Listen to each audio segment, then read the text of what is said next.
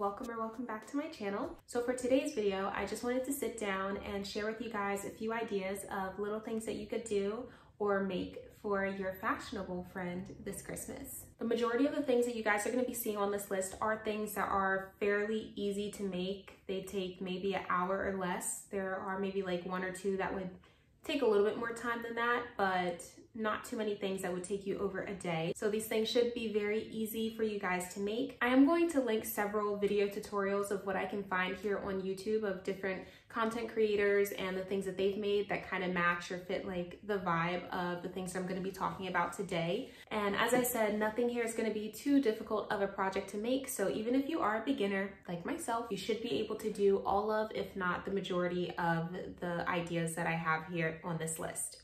So the very first thing that I had on my list is a scarf. Now, I know everybody probably thinks to do a scarf for someone for Christmas or even just like as a gift in general, I think it's probably one of the most easiest things that you could make. I think scarves are always a really good Christmas gift idea to give to people as long as you take the time to actually have them in mind when you're making or getting the scarf. You don't have to think so in the box. Like you can make someone a scarf out of granny squares and follow a certain color pattern that they like. Or it could be striped or it has some sort of like zigzag pattern.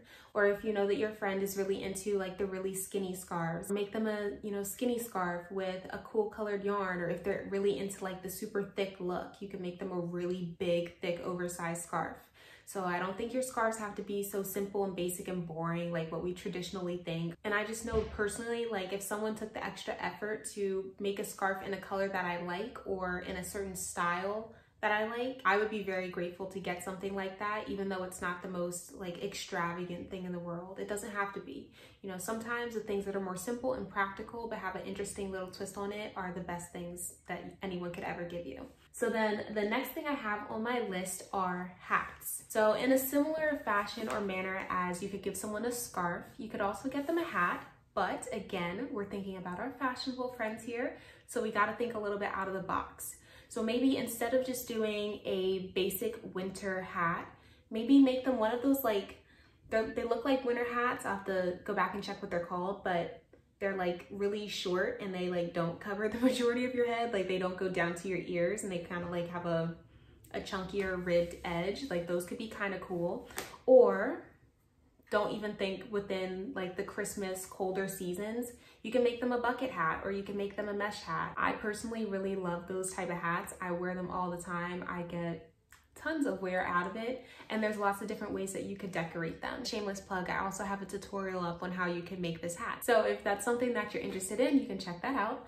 But I do think that hats themselves could be some really cool gift ideas and they don't have to be the most basic boring thing ever. A simple color change, pattern or design could really take a basic hat that like low-key nobody kind of wants for Christmas and make it something super cool and personalized and unique. The next thing on my list is something that I really love and it's so simple and doesn't take that much time to make. And those are little crocheted scrunchies. I've been seeing a lot of the scrunchies that are like what's the word? They're just, um, they've got like a ruffle effect to them and I think that looks really cool. There's so many different color combinations that you can do when making those and I think they're so much fun. They're absolutely adorable and I personally would love to receive those from anybody. Um, and, and anybody in my family want to make me some crochet scrunchies, I will definitely take them. Thank you. I think scrunchies are a really cute idea. Again, also something that's very easy to personalize. I've also come across scrunchies where they're not the ruffled effect, but you like actually crochet like a long strip and then you just wrap it around the scrunchie itself. So you get a different look. They don't all have to give off that ruffled kind of vibe, but I do think those are really cute. Next up, we have chokers. The cool thing about chokers is that one, it truly is such an easy project. Does not take up much time to do it all. But on the other side, they're a very easy project to personalize.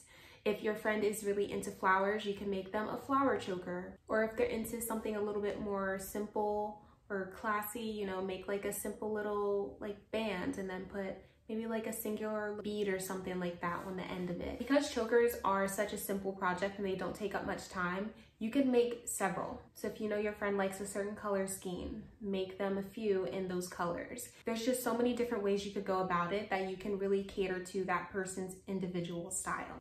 Next up, I have collars. I've come across a few collar designs that I've really been liking lately. You know, there are some that are a more basic, like granny stitch, and then others are a little bit more complex, but I do think that they can be really fun. You can make the collars really small and cute and dainty, or you can make them really big and oversized. I think that's one of the cool things about all the different items that I have here on my list is that they can be as soft and dainty and like feminine as you want, or they could fall on the other end of the spectrum and be the most like cool, big, obnoxious, like oversized thing in the world. There are a lot of collars that I've been seeing that I've liked that are not crocheted or even knit at that, but I think you could use them as a good starting point of like inspiration on maybe a color pattern or combination of different styles like a Peter Pan collar with a really oversized ruffle hem, you know, things like that. Or you could have a really boxy collar and then put a little like lettuce leaf hem along the bottom of it.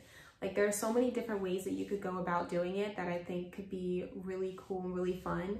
And I think it'd be interesting to give somebody a collar because I don't really know too many people who are like making crochet collars for people for Christmas. So it would be a really nice way to like switch things up on people a little bit without making it like too impractical because, you know, it's still a collar. Like you could wear with a lot of different things. So next up on my list, I think this works absolutely perfectly if you have no time on your hands.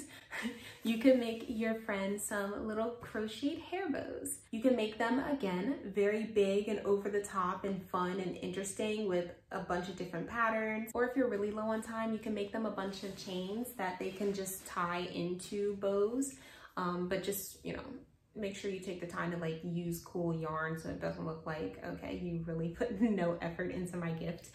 Um, yeah, because we don't we don't want to give them the impression that we don't like them. I do think that your little hair bows and ribbons look really cool and cute in like a mohair yarn or using like a glittery kind of a glittery yarn or like those yarns that have a lot of like fluff to them. I think things like that could be really interesting. And depending on how you make it, they could use it like just as a hair bow or a clip or use it as a hair tie as well. Like there are a lot of different ways that you can go about it. It doesn't have to be so basic, which I really appreciate. Next up, I have bags. There are a plethora of bags that you can make someone. They could be mesh market bags. It could be a small little handbag. You can make them a bag in the shape of something. So if they really like stars, then make them a, bag in the shape of a star. You could do it in a heart. Or you can make them a really big like duffel bag if you've got that kind of time on your hands. No matter what style your friend has, you can make a bag for them. The next two things that I have on my list are things that are perfect for a friend who lives in a colder climate. So first up, we have ear warmers. You could make your friend a really cool or cute or funky pair of ear warmers. I've seen some lately where they're like little stars or heart shapes, which I think are really cute. Or you could just do like a traditional ear warmer like band. But again, you can make it in their favorite color or a set of colors. Or it doesn't even have to be that complicated. You could do one where it's just a bunch of single crochets like in a row, but make each row a different color. So it's like multicolored and really cool. And maybe even like mix up the yarn that you use a little bit so it's got some texture to it. Or you could do like a simple band in a particular color that they like. And then you can go in and put like some little interesting embellishments and things on it. Like it doesn't have to be the most complicated project in the world, but if they're in a colder weather, it would definitely be something that they wear, or at least I would hope that they would wear. And it's really cute, so why not? Then after that, you could also make them a pair of matching leg warmers. I was trying to look up some different ways to make leg warmers because you know, there are like the basic types, but I saw a pair of leg warmers that were really big and just like chunky and thick and they looked like they were rather long as well too. And I was just like, oh my gosh, like I wish somebody would make this for me. Now I don't have anyone in my life to make it for me, so I'll have to make it for myself. But you can be the person to make that for your friend. I think this is a really good gift idea if you have a friend who like ice skates or they're into winter sports and things of that sort. You can make it a set. So you can make them a hat and some leg warmers or a hat and arm warmers, or you could do an ear warmer and leg warmer little matching set. I think that would be really, really cute. Last thing I had on my list of things you can make for your friend are boleros or sweaters. And I put these two in the same category because I feel like if you make a bolero, like you basically made like half of a sweater. So you could just keep going and just make the rest of the body part of the sweater. But I do think that these could be a really cool idea. There are a lot of really cool stitch patterns that I've seen people make boleros in lately that I really like and I would like to experiment with myself. Or here we go again with the combinations. You can make your friend a bolero and then also make them a pair of matching leg warmers and ear warmers. Why not? Just do, do the whole things, just the whole big set. My very last one is a bonus gift idea, but this is solely for the experts. I don't even think I personally could handle a project like this, but for those of you who are very advanced in your crocheting skills, you could make a personalized amigurumi.